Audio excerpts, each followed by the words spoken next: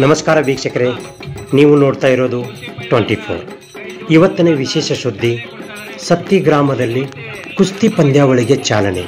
ಹಾಂ, ಮಾಜಿ ಉಪಮುಖ್ಯಮಂತ್ರಿಗಳು, ಅಥಣಿ ಮತಕ್ಷೇತ್ರದ ಜನಪ್ರಿಯ ಶಾಸಕರಾದ ಸನ್ಮಾನ್ಯ ಶ್ರೀ ಲಕ್ಷ್ಮಣ ಸವದಿಯವರು ನಿನ್ನೆ ಅಂದರೆ ಒಂದು ಏಳು ಇಪ್ಪತ್ತ್ಮೂರರಂದು ತಾಲೂಕಿನ ಸತ್ತಿ ಗ್ರಾಮದಲ್ಲಿ ಬಾಬಾ ಸಾಹೇಬರ ಉರುಸು ನಿಮಿತ್ತವಾಗಿ ಆಯೋಜಿಸಿದ್ದ ರಾಜ್ಯಮಟ್ಟದ ಕುಸ್ತಿ ಪಂದ್ಯಾವಳಿಗೆ ಚಾಲನೆ ನೀಡಿದರು.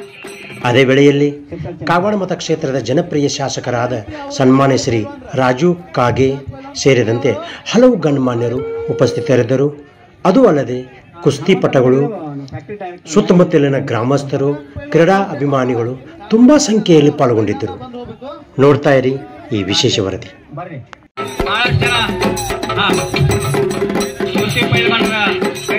ಮುಖಾಂತರ ಚಾಲನೆ ಕೊಡ್ತಾ ಇದ್ದಾರೆ.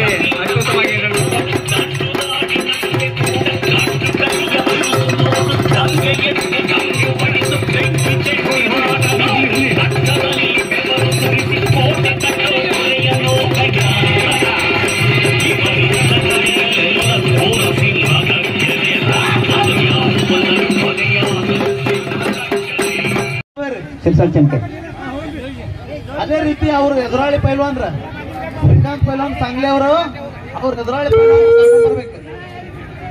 ಹಾ ಹನುಮಂತನ ಜಗದೇವ್ ಫ್ಯಾಕ್ಟ್ರಿ ಡೈರೆಕ್ಟರ್ ಮೇಲೆ ವೇದಿಕೆ ಬನ್ನಿ.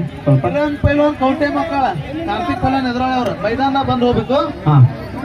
ಕಾರ್ತಿಕ್ ಬರ್ರಿ. ಹನುಮಂತನ ಜಗದೇವ್.